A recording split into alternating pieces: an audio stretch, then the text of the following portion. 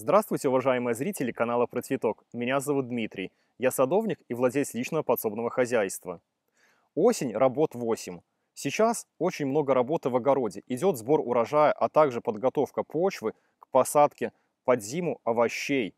Готовятся посадочные ямы для посадки ягодных кустарников и плодовых деревьев. И в этот период нужно обезопасить нашу почву от почвенных вредителей, особенно таких, как проволочник и хрущ. И в сегодняшнем ролике я расскажу вам, как это правильно сделать. А сейчас хочу сделать небольшое объявление. С 21 по 25 сентября в Москве на Сокольниках состоится ярмарка-выставка Фазенда 2022. Всех приглашаем на данную выставку. Будем рады вас там увидеть, пообщаться, ответить на интересующие вопросы по биопрепаратам и по уходу за растениями.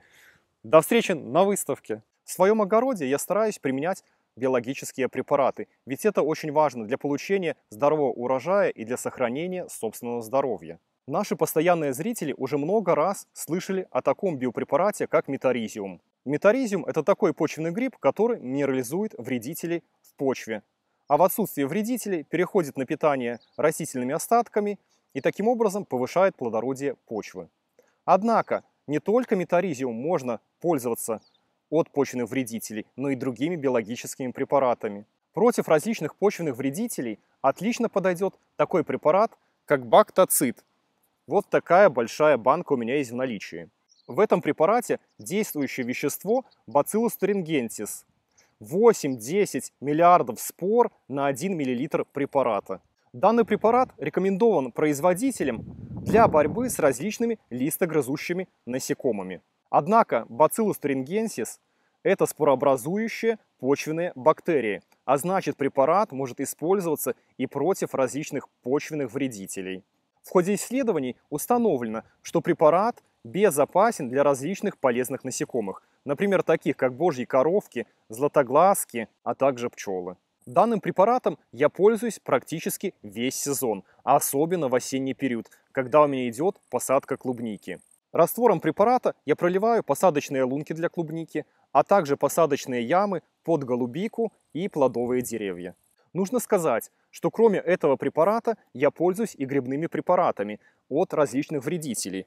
Например, это такие препараты, как метаризиум и баверия. Но как же их правильно применять, чтобы была максимальная польза? Дело в том, что бактериальные и грибные препараты вместе применять нежелательно, так как идет большая конкуренция. Если вы проливаете почву, например, метаризиумом от почных вредителей, тогда по листу работайте бактоцидом. Либо применяйте данные препараты для пролива почвы с интервалом 2-3 недели. В этом случае конкуренция будет незначительная и растения получат максимальную пользу, будут защищены от почвенных вредителей. Согласно инструкции производителя, для обработки по листу понадобится 125 мл препарата на 10 литров воды. Если же мы делаем пролив почвы раствором, то концентрацию можно немного увеличить. Понадобится примерно 200 мл препарата на 10 литров воды. Например, для полива клубники при посадке примерно литр готового раствора. В посадочную яму для ягодных кустарников либо плодовых деревьев э, примерно 10-20 литров раствора. Кстати, данным препаратом можно пользоваться и осенью для обработки нашего урожая. Например, таким препаратом я обрабатываю в осенний период при необходимости капусту от гусениц. Ведь качаны уже завязались и сбор урожая очень скоро. И различными химическими препаратами, конечно, пользоваться уже нельзя. Ведь урожай может накопить различные отравляющие вещества. В этом случае поможет опять же бактоцид. Раствором препарата обрабатываю капусту, и уже через несколько дней, да в принципе и сразу, капусту можно употреблять пищу, ведь препарат не токсичен и не имеет сроков ожидания.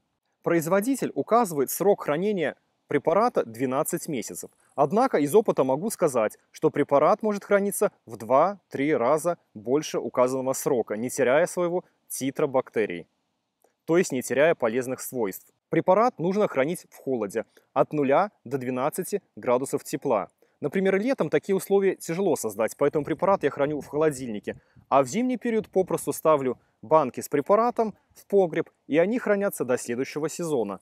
Потом весной я достаю препарат из погреба и опять же использую по назначению. Обрабатываю растения по листу и проливаю почву от различных почвенных вредителей. Обязательно используйте биопрепараты для борьбы с почвенными вредителями, с листогрязущими вредителями, ведь они безопасны для здоровья человека, безопасны для окружающей среды и для вашего урожая. Спасибо за лайки и подписку. До новых встреч!